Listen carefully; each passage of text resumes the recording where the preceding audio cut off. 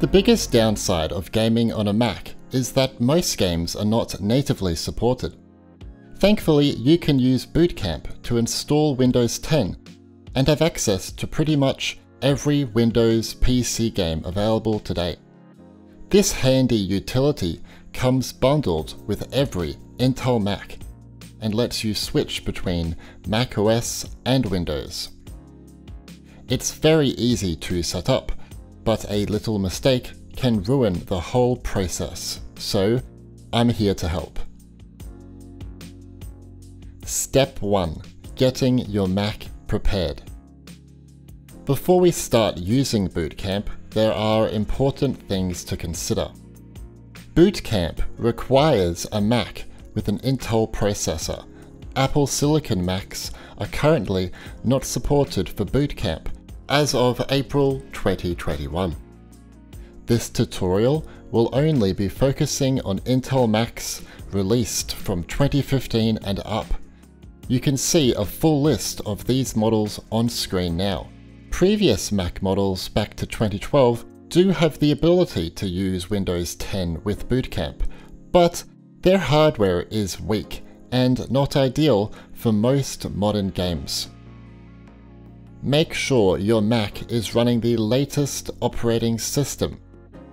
To do this, choose System Preferences from the Apple menu, then click Software Update to check for updates.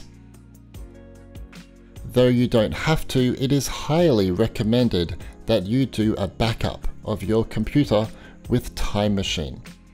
It only takes a few minutes to set up, and it means you don't have to worry if anything goes wrong, which it shouldn't anyway.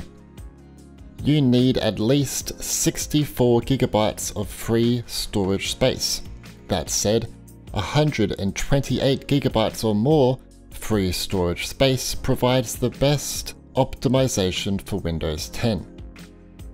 To easily free up space on your Mac, go to About This Mac, Storage, Manage, and this will give you a detailed rundown of what's on your Mac. Unplug any external devices that aren't necessary during installation. If you have a wired mouse and keyboard, you can obviously keep these plugged in. Step 2. Getting the Windows 10 disk image. Microsoft offers a Windows 10 disk image for free, and you can install it without a product key. Click the link in the video description to download the ISO directly from Microsoft. From here, choose Windows 10 then select your product language and click confirm. Now you must choose which Windows version you want to download. Make sure to download the 64-bit option, as most modern games are now 64-bit applications. Don't worry, you'll still be able to play your favorite 32-bit games this way. Allow the ISO to download and wait for it to finish. The disk image should be around 6 gigabytes, so it may take a while to download depending on your internet speeds. Once the download has completed, go to Spotlight Search and look for Boot Camp Assistant.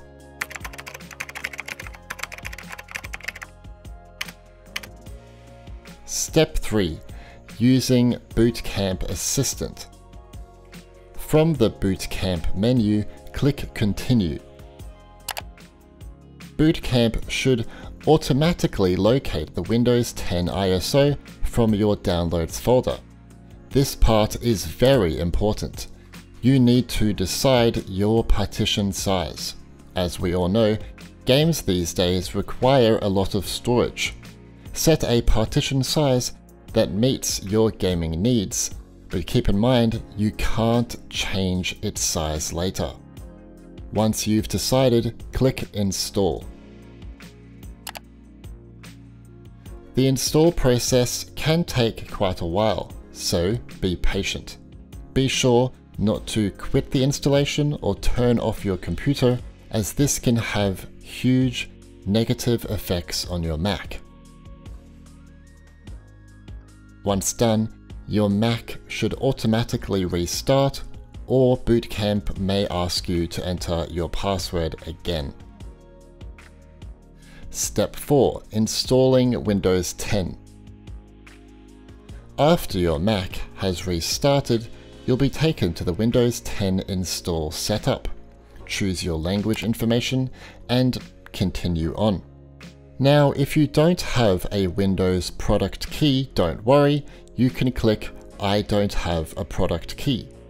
You can use Windows 10 for free forever basically, but eventually a watermark will appear asking you to register.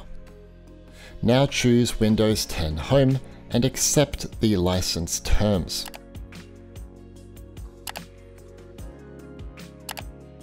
Now the Windows setup will begin installing Windows 10 on your Mac.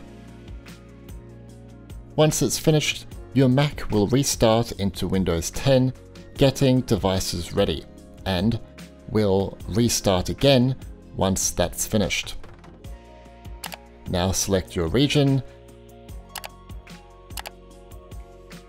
select your preferred keyboard layout.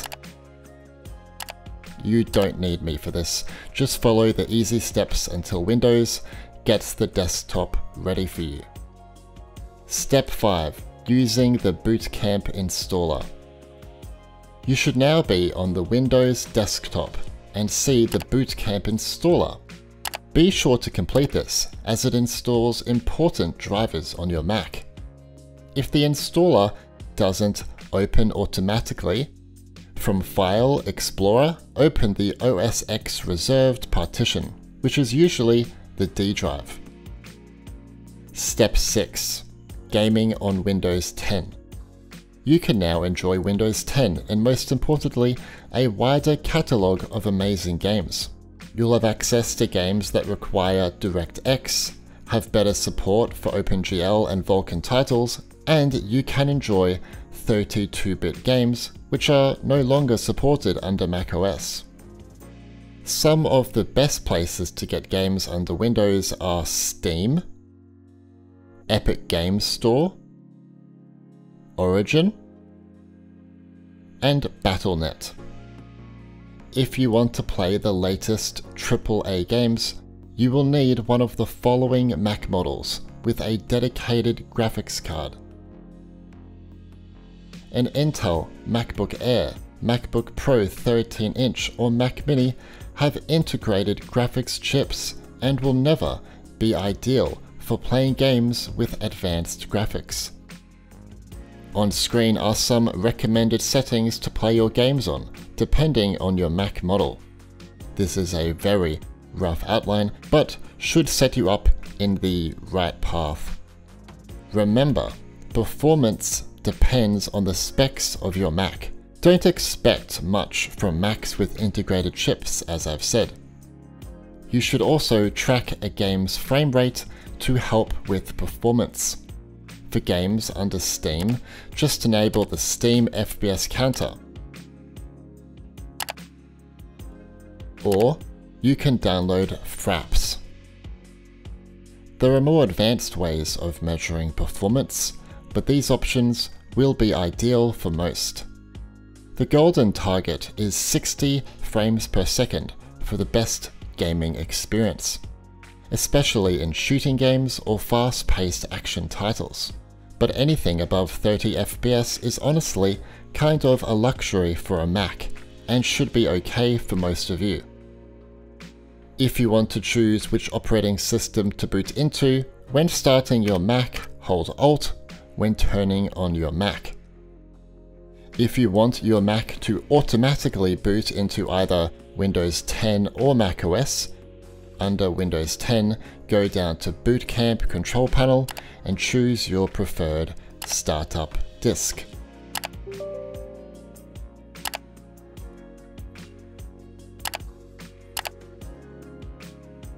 Under macOS, go to System Preferences and choose your preferred startup disk.